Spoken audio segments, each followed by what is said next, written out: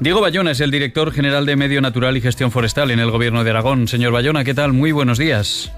Muy bien, muy buenos días. Bueno, yo esto lo he dicho así rápidamente. Bueno, Aragón ha aprobado más de 400 planes de la red Natura 2000. ¿Qué significa esto? ¿Qué supone?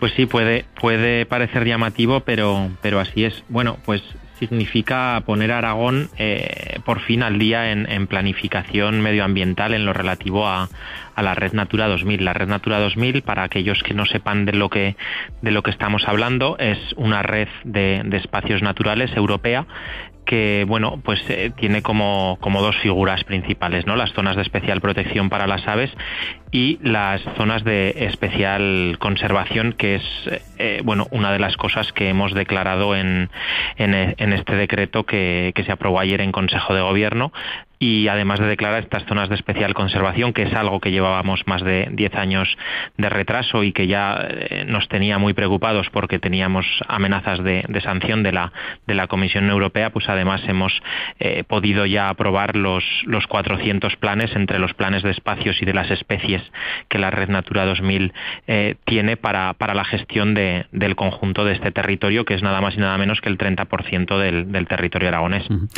¿Significa esto, señor Bayona, que que, Aragón ahora pasa a proteger más, si cabe, eh, algunos de sus territorios. Creo que la suma de estos 400 planes eh, no llega al 30%, pero ya es un porcentaje muy importante del territorio aragonés, ¿no? Efectivamente, estamos en torno al 28,5% aproximadamente del, del territorio aragonés, para que os hagáis una idea en la en la estrategia de, biodiversidad europea 2030, bueno, pues se nos, se nos pedirá que tengamos en torno al, al 30%, o sea que estamos ya, ya muy cerquita de cumplir con estos, con estos parámetros. Estas figuras ya, ya existían, ya venían declaradas estas, estos CEX y estas cepas de, por parte de las directivas de, de aves y hábitats de, de, la propia Comisión Europea desde hace años, pero es verdad que no habíamos cumplido con el, con el requisito de tener eh, unos planes de gestión para, para todos estos espacios.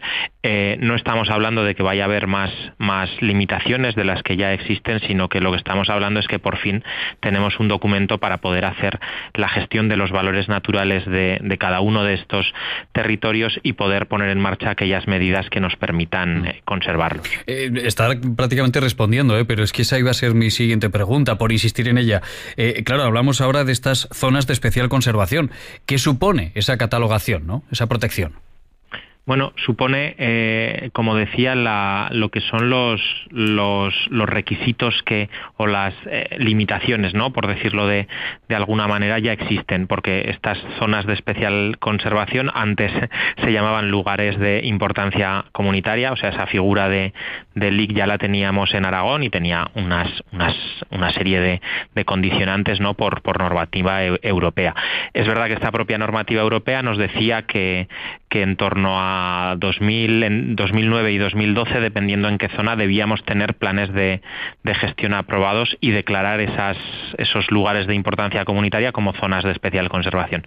Esto es lo que tanto nos nos surgía porque, porque teníamos una carta de emplazamiento de la Comisión Europea con, con una amenaza ya muy real de, de, sanción desde, desde 2015 y es lo que hemos, eh, lo que hemos conseguido salvar ahora mismo. ¿no? Además, eh, permítame que lo diga, no solo hemos cumplido el trámite, sino que creo que hemos eh, armado todo un conjunto de, de, planificación que nos permitirá pues no solo cumplir, sino además desarrollar medidas que permitan conservar estos valores con, con un rendimiento también para para, el territorio, porque no nos olvidemos que, que la red Natura y el tener aprobados los planes de gestión pues son unas de las condiciones, por ejemplo, para el reparto de los fondos europeos, ¿no? O sea que es más importante si cabe el tener esta planificación aprobada. Porque una vez que esté esa planificación aprobada, ¿sería cuando empezasen a llegar y empezasen eh, a aparecer esas ayudas europeas?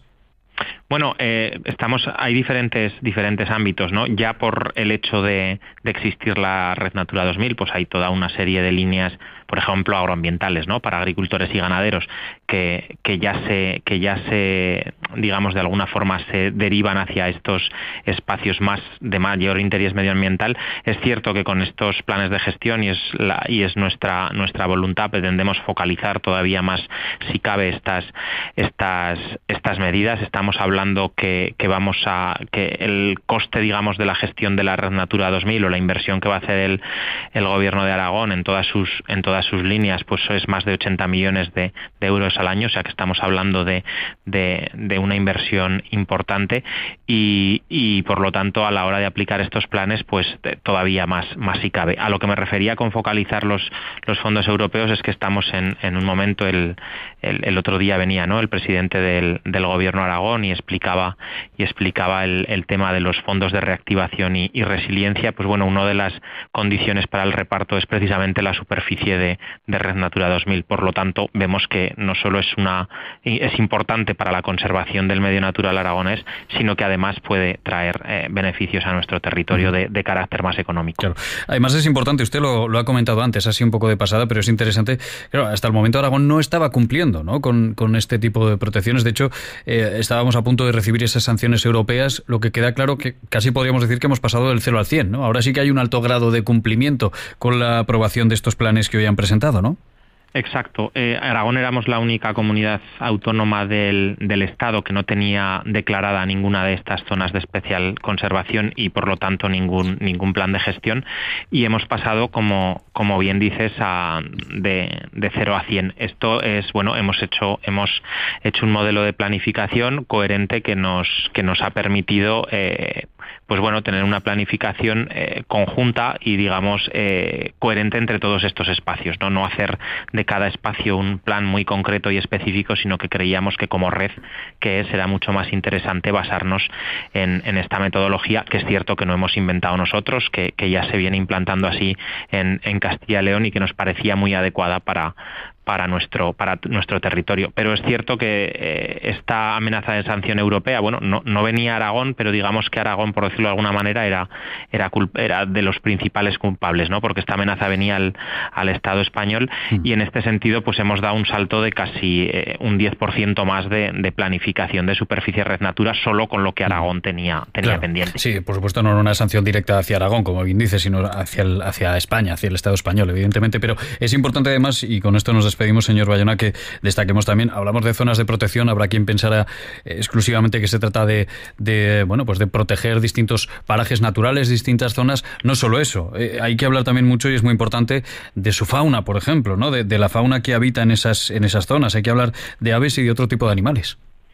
Sí, esto es muy importante también porque eh, quizá la gente no, tiene por qué conocer ¿no? lo que supone la, la Red Natura 2000, pero estamos hablando de de que precisamente no, no estamos haciendo una serie de regulaciones o de prohibiciones, sino que lo que se pretende es potenciar aquellos usos tradicionales, forestales, agrarios, ganaderos, que han permitido pues conservar esos, esos territorios como están y que es lo que le da ese, ese valor. Además, las medidas siempre son precisamente, como decías, para, para las especies y los hábitats. No es que estemos haciendo eh, una serie de limitaciones en todo el entorno de, de, uno de estos espacios, sino que lo que se aplican es medidas de gestión para que eh, los hábitats de, estas especies les permita pues desarrollarse como, como debe de ser y tengamos una biodiversidad pues más rica y mejor conservada, pero insistiendo en que precisamente lo que pretende es fomentar aquellas actividades tradicionales que, que han permitido eh, moldear digamos estos, estos paisajes y estos territorios para que tengan actualmente estos, estos valores.